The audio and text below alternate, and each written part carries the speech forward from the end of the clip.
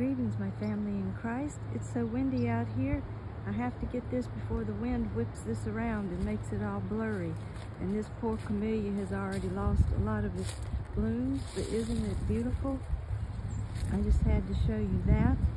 And hey, it's so good to see some color, right?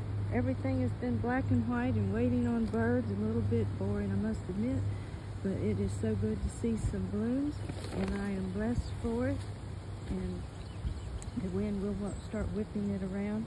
So I'm going to move slowly so that we don't get too dizzy. And we'll go look at another thing that I found that is blooming. So praise the Lord. And before I go I guess I can show you um, some of the uh, native hyacinths. I think that's what they're called. I can't remember off the top of my head. So let's go see the Lenten rose. It comes up in this early, early spring and late winter. So it is somewhat of a pollinator. And while we go, I want to talk about what we're talking about today. And that is going to be the Mount Olivet Discourse and it's where Jesus is talking to his disciples on the Mount of Olives. And he's, here we go. Let me interrupt myself. Isn't that pretty? Just beautiful. Lenten rose. And the hellebores. So we'll go see. Walk around.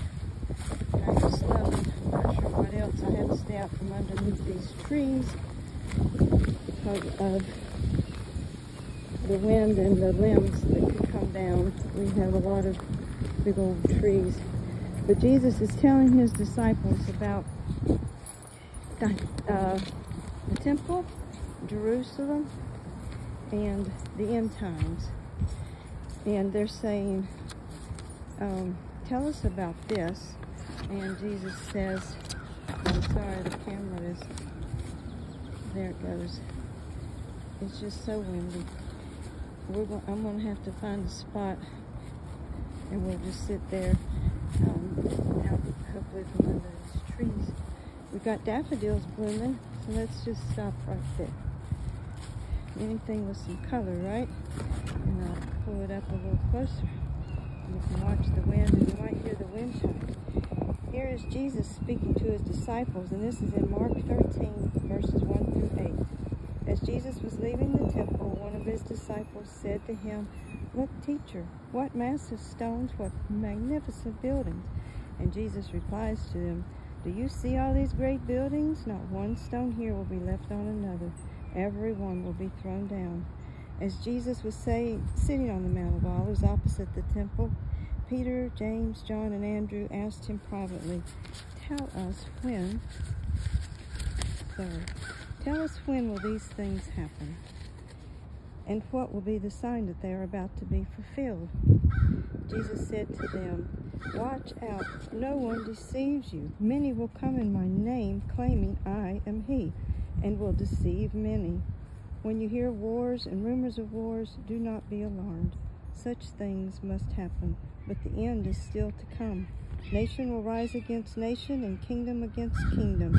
There will be earthquakes in various places and famines. These are the beginning of birth pains. And we just learned in Revelations about birth pains and what will happen before the tribulation times and the rapture when we as Christians and believers in God, his son, and the Holy Spirit will be taken up and we will not have to be here during the tribulation time.